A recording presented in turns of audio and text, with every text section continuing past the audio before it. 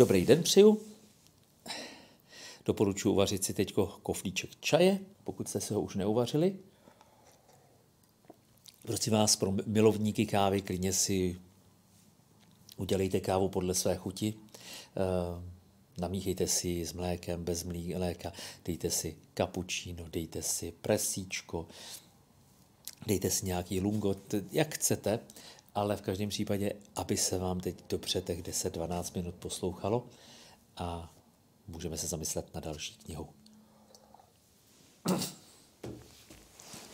Tak, eh, já jsem tentokrát eh, vytáhnul velmi zajímavou knihu, která se jmenuje Víra v rodině. Vydalo ji karmelitánský nakladatelství před nějakým časem od Kristýn Ponsardové. Um, tam je takový jako tématický věci, jsou tam mnohý jako vztahy s dětmi, rodičů s dětmi, modlitba v rodině, růst lásce, citová výchova, odpuštění, oslavy v rodině, škola a rodina, životní zkoušky, všechno možný zleva doprava, ale takhle to zní příliš suše. Já bych vás rád nechal nahlédnout do takových dvou krátkých textů. Ten první se jmenuje uh, chápat nebo schvalovat. 15-letá Štěpánka se snaží získat od rodičů dovolení, aby mohla jít večer ven s kamarády. Ale rodiče jsou proti. Ne Štěpánko, žarodíš zbytečně. Štěpánka má zlost a je zklamaná. Jde pryč a hudruje, že rodiče prostě ničemu nerozumí.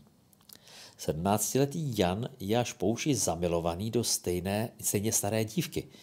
Prý to trvá už dlouho. Plaše a neobratně to sdělí rodičům. Na to teď není vhodná chvíle, odpovídají. Jste moc mladí. Později se uvidí. Ale zatím to nemůže být nic vážného. Zapomeň na ně a radši se soustřed na učení. Jan si jen pomyslí, vůbec mě nepochopili. Kolik je jen mladých lidí, kteří se cítí být rodiči nepochopeni. Někdy právem, častěji neprávem. Je totiž třeba dobře rozumět tomu, co je to chápat. Znamená to i schvalovat? O jaké pochopení jde? Pochopit všechno je nemožné. Naštěstí. Ani ta nejcitlivější matka a nejpozornější otec nikdy své děti úplně nepochopí. Lidská osoba totiž není stroj nebo věc, které bychom mohli rozpitvat či rozebrat na součástky. Neměli bychom zapomínat, že první podmínkou pro to, abychom druhého pochopili, je připustit, že ho nikdy nemůžeme pochopit úplně a proto je k němu třeba přistupovat s úctou a pokorou. Před neproniknutelným tajemství každé lidské osoby. Tato zdravá skepse, že nemohu druhého pochopit úplně, je nutnou výbavou dospělého člověka. Předpokladem pochopení je nově se na věc podívat a naslouchat druhému svobodně, aniž by mi bylo všechno jasné předem. Janovi rodiče mají bez pochyby naprosto jasno o tom, v jakém věku je vhodné se zamilovat. Proto nemohou doopravdy naslouchat tomu, co jim chce Jan říci. Jistě, je při výchově, jistě, při výchově jsou zásadní zásady nutnými a důležitými opěrnými body, ale jen tehdy, když zároveň nikdy nezapomínáme, že každý člověk je jedinečný, že má své vlastní povolání, svou cestu, svoje vlastní tempo. Abychom své děti chápali, musíme na ně hledět s údivem a okouzlením cestovatele, který pronikl do dosud nepoznakoumaného království. Bude-li to třeba, musíme být připraveni své předsudky přehodnotit. Přehodnotit své předsudky neznamená zříci se toho podstatného. Toto rozlišení je mimořádně důležité, protože jinak upadneme do nebezpečné pasti. Buď odmítneme přehodnotit byt jen jednu jedinou ze svých zásad, abychom neustoupili z toho, co je podstatné, nebo se vzdáme svého nejhlubšího přesvědčení z obavy, že budeme pokládáni za zkostnatělé rodiče. Chceme-li své děti chápat, musíme rozlišovat, co je podstatné a co ne. Tomu se nikdo nevyhne. A skutečnost, že jsme k tomu pozváni jakožto rodiče, a také jakožto boží děti je boží dár, čím víc se dokážeme oprostit od toho, co, je ve skuteč, co ve skutečnosti není důležité, například co tomu řeknou lidé, tím více jsme to splnit to jediné, za, za, co za to opravdu stojí boží vůli. Já si vybavuju mnoho, mnoho situací a e, věcí, které jsou e, právě tohohle druhu, co řeknou lidé. Zažil jsem svatby, které proběhly jenom proto, co by řekli lidé, kdybychom se rozešli a zrušili svatbu. Zažil jsem strašné věci, že svatba nebyla, protože eh, co by tomu řekli lidé, když bychom udělali svatbu velmi prostou. To jsou neskutečné věci. Eh, kdy se udělá velká svatba, protože co by tomu řekli přátelé, kdyby nebyla velká svatba a přitom nemají na bydlení. Ale svatba musí být velká. To jsou takové nesmysly do života a máme přemýšlet. Chápat své dítě znamená brát ho se vším, co k tomu patří a s jeho osobností, s jeho historií, s jeho povoláním v širokém smyslu slova. Mnoho mladých lidí, kteří se cítí nepochopení, ve skutečnosti pochopení, nej, pochopení jsou a dokonce velmi hluboce. Štěpánčině rodiče chápou dceřinu touhu víci a současně ji odmítají dát své svolení, protože vidí dál, než je dceřino okamžité povyražení. Uvědomují si, k čemu je Štěpánka povolána a co by se mohlo pokazit. Chápat to tedy nutně neznamená schvalovat. To je možná věta, která je strašně důležitá jak pro rodiče, tak pro děcka. To, že z, z děcka, pokud tohle posloucháte, nebo dospívající, ať tam vám neříkám děcka, eh, to, že rodič nedá svolení nebo šéf nedá svolení, to neznamená, že vás nechápe. Možná vás chápe tak moc, ale vidí hrozně moc dopředu. A někdy se puste do toho rozhovoru, kam až vidí ten rodič a možná přijdete na krásné věci, protože vy o svým mládí nepřijdete. A rodiče se ne, vlastně nebojí a nechtějí vás připravit o mládí a o jeho, řeknu, o ten, zur, já tomu říkám, zurčící potok horský, jo? To, to vás nepřipraví. Ale věci jsou nějaké. A jste chápáni, jste pochopeni. Často se pochopení zaměňuje za toleranci. Falešnou otevřenost, která je ve skutečnosti jednou z podob lhostejnosti. Chápu tě, máš pravdu, dělej, co uznáš za vhodné. To tajemství předávání odpovědnosti eh, v životě mladého člověka a vůbec dítěte – to je přesně eh, to, co nám asi dneska strašně kulhá. Tuhle jsem někdo stěžoval, co má dělat, že prostě má děti v nějakém velikánském rozpětí a že desetiletý protestuje, že nemůže to též, co může 18 letý. No to je úplně normální a úkol rodiče je docela normálně tohle to ustát. A vysvětlit tomu desetiletýmu týpkovi, hele, až dorosteš, tak taky některé věci budeš moct. Nejlepší na tom je, když potom ještě ten 18 letý si stěžuje, že nemůže to, co ten malý, že tomu to projde a jemu už ne. To znamená, nechce přejmout odpovědnost za svůj věk, že jo. Ale to jsou už zase věci další k tomu, které stojí za to.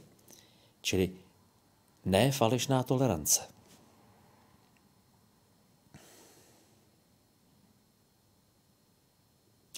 E, tenhle ten okamžik, chápu tě, máš pravdu, dělej to, uznáš za vhodné, co uznáš za vhodné, tak to mě zároveň zbavuje povinnosti pomáhat ti najít, nebo tomu druhému najít, co je pro tebe lepší, co tě z dlouhodobého pohledu učiní šťastnějším. Žádný normální otec nemá radost z toho, že se musí svému synovi postavit, zvlášť když mu přitom tak dobře rozumí. Čím více ho totiž ten otec chápe, tím víc ho to bolí. Pomoci mu však může jenom tehdy, když mu rozumí. A přesto se s ním střetnout dokáže. Když jsme si jisti, že máme pravdu, jsme pokušení ani se o porozumění nesnažit. Zapomínáme, že při výchově je důležité zastihnout dítě tam, kde právě se nachází. Jinak ho naše slova a činy nezasáhnou. Opravdová výchova se odehrává jedině v lásce a skrze lásku a vyžaduje otevřené srdce, připravené druhému naslouchat a porozumět. Ale abych přizastihl vlastně děcko tam, kde je, to znamená, že s ním musím být a že musíme žít jako rodina dohromady, protože jinak ho vlastně nepotkám. A ještě jedna maličká ukázka, jsem in. Sice mění rychle. Technika jde dopředu, dovídáme se o nových objevech, mění se i mravy, takže mezi tím, co jsme v mládí prožívali my a tím, co prožívají naše děti, je velký rozdíl. Naše vlastní dědictví, dětství se eh, dětství našich prarodičů a rodičů podobalo velmi se našim, eh, našich rodičů podobalo určitě mnohem víc, než se podobá dětství našich dětí a vnoučat tomuto našemu světu. Právě proto se mnohým rodičů, mnohých rodičů zmocňuje neklid a pocitují zmatek a plně znepokojení si kladou otázku, jestli nejsou beznadějně ze hry. Svět se mění, ale člověk se nemění. Ve své podstatě je stejný člověk, jaký byl před 30, 40, 100 lety. Mění se životní styl, ale lidské touhy zůstávají. Právě proto k nám přes propast věků promlouvá jeskyní malba Sofokův verš, modlitba svatého Augustína nebo Mozartova sonáta. Přestože byly vytvořeny stovky a tisíce let před námi, je důležité umět rozlišit to, co v průběhu věku pomíjí, a to, co zůstává a vyjevuje vlastní podstatu člověka. Vychovávat dítě znamená pomoci mu stát se tím, čím je. Plně lidským člověkem. Znamená to vštípit mu hodnoty, díky jimž se může rozvíjet a prospívat, díky nimž může být šťastné. A tyto hodnoty se nemění. Přestože se Homosexuálové plní úzkosti a hluboce ranění ve své identitě horlivě snaží získávat všude nové přívržence, přestože si každý člověk, ať už si zvolil jakýkoliv způsob života, zaslouží pozornost a úctu, na skutečnosti to nic nemění. Muž je stvořen k tomu, aby se připojil k ženě a naopak. Ten, kdo chodí po rukou, má bez pochyby dojem, že se realita změnila. Ale to je jen nebezpečná iluze. Nech, nechme se tedy zaskočit argumentem, ty nejsi v obraze. Nesnažme se přizpůsobit současným mravům, abychom byli na výši doby, protože to se rychle mění. Čím rychleji se točí kolo dějin, tím větší je lidská potřeba zapustit kořeny v něčem, co nepomíjí.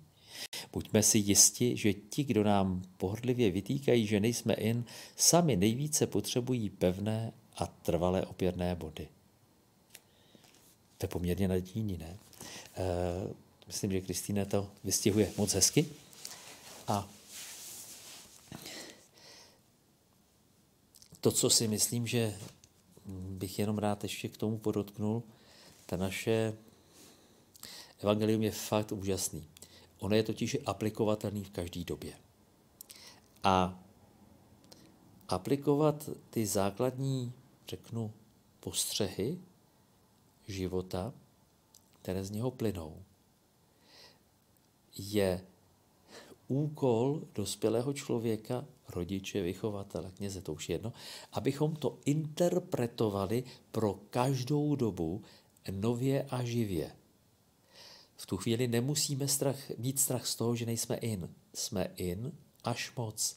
Ale pokud neinterpretujeme a ne dáváme nová, nebo neodíváme do nových slov starou pravdu, tak na tom končí nepochopitelnost, nebo z toho plamení ona nepochopitelnost, kterou se potom horko těžko vlastně pereme a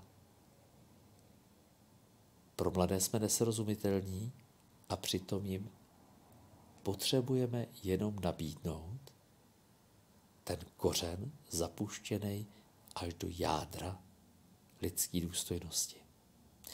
Ale to sahá vlastně až k Pánu Bohu, ale to už je zase další ještě kapitolka, zase v nějaký jiný knize.